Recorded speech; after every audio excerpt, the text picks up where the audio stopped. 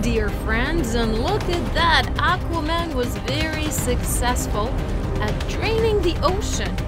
Yeah, he did that just for our challenge, for our very special challenge.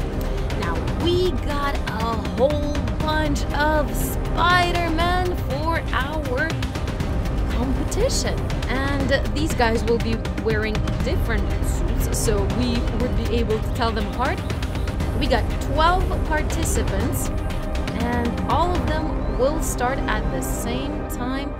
The first Spider Man to make it to the finish line will win.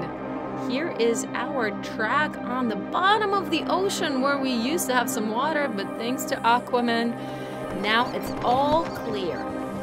Our superheroes are ready to get into the competition, and you, well, you don't forget to subscribe to this channel, like this video, leave your comments below, and tell us which Spider Man suit is your favorite. I hope you enjoy this challenge.